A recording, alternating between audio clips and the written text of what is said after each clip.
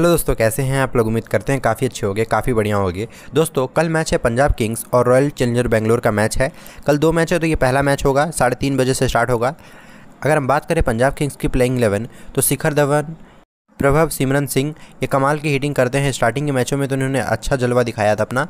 उसके बाद Matthew Short Matthew Short ने भी लास्ट दो मैच खेला और दोनों ही अच्छा खेला है। तो उम्मीद करते हैं कल का मैच भी बढ़िया खेलेंगे।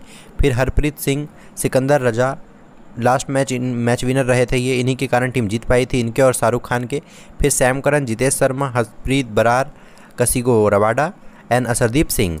तो टीम इनकी काफ़ी अच्छी है, गेंदबाजी में असरदीप सिंह, रवाडा और हर्षप्रीत बरार जैसे खिलाड़ी हैं, सैम करन भी अच्छी गेंदबाजी करते हैं तो टीम काफ़ी अच्छी है। बल्लेबाजी में लास्ट में शिखर धवन नहीं खेले थे, फिर भी टीम जीत गई थी, क्योंकि शाहरुख खान और सिकंदर रजा ने मैच जिता दिया था। अगर शिखर धवन खेलेंगे तो टीम ज़्यादा स्ट्रॉन्ग हो जाएगी, ठीक है?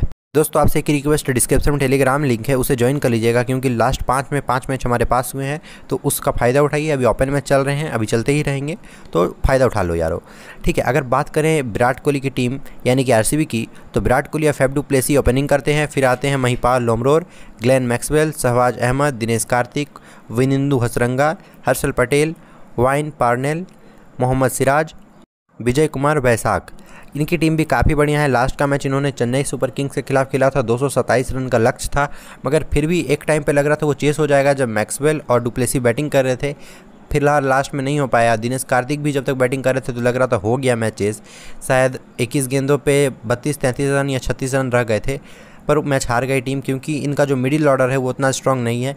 विराट कोहली फेफ प्लेसी और ग्लेन मैक्सवेल के बाद ऐसा कोई भी बल्लेबाज हमें देखने को नहीं मिला जिन्होंने रन बनाए हैं और गेंदबाजी तो काफ़ी कमज़ोर है। हर मैच में जब भी ये फ़र्स्ट गेंदबाजी करते हैं तो 200 सुपर रन बनते के ने बनाए, चेन्नई सुपर किंग्स ने भी रन बनाए हैं और लखनऊ सुपर जाइंट्स ने भी बनाया है। तो इनका जो कमज़ोर पक्ष है वो गेंदबाजी है, काफ़ी कमज़ोर है। अगर कल स्ट्रॉन्ग दिखती है तो हो सकता है ये मैच जीत जाए। अगर बात की जाए हेड टू हेड की तो टोटल तीस मैच खेले गए हैं, जिसमें से तेरह मैच आरसीबी और सत्रह मैच पंजाब ने जीता है। तो यहाँ पर दिखता है कि पंजाब के पास एक एक्स्ट्रा पॉइंट है। कल जो होम ग्राउंड है, वो भी पंजाब का है तो वहाँ पर भी एक एक्स्ट्रा पॉइंट रहेगा।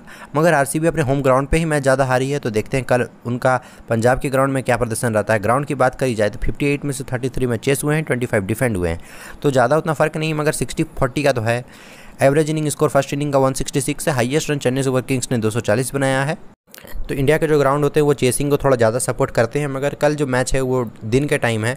तो हो सकता डिफेंड की भी संभावना ज़्यादा रहे, ठीक है, फिर भी आप टेलीग्राम ज्वाइन रखिएगा चैनल को सब्सक्राइब कर लीजिए वीडियो को लाइक कर दीजिए दोस्तों। अगर बात करें कल के मैच की प्रिडिक्शन की तो हमें लगता है कि कल आरसीबी फ़र्स्ट बैट पे आएगी और मैच जीतेगी, क्योंकि आरसीबी को अगर मैच जीतना है तो उसे फ़र्स्ट बैट पे आना होगा और एक 200 के आसपास रन बनाना होगा। उसके बाद वो डिफेंड करने पर उतरेगी तो ज़्यादा चांस है कि वो मैच डिफेंड हो जाए। बाकी अगर ऐसा नहीं होता है तो टेलीग्राम ज्वाइन रखना ही है आपको। मैं वहाँ पर कन्फर्म कर दूँगा कि कल का मैच का विनर कौन होगा। बाकी आपको क्या लगता है दोस्तों, आप कमेंट करिए, ठीक है? मिलते हैं आपसे अगले वीडियो में। तब तक के लिए बाय बाय चैनल सब्सक्राइब रखिएगा।